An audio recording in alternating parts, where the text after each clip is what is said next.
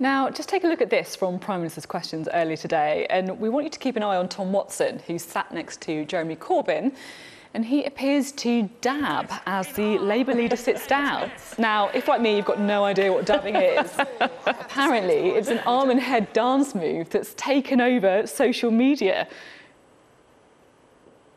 We've spoken to Tom Watson's office to try and work out what he did, why he did it, so we'll let you know when you, we hear back.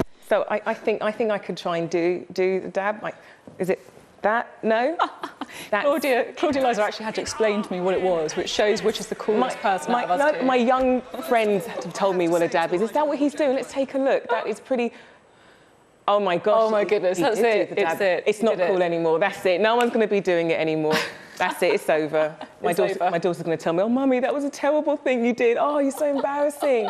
Anyway, I, I probably didn't do it right either. But no one's going to do it anymore now. Now that I've done it in Tom Watson, There you go. Not cool anymore, apparently. let's take a look at the weather.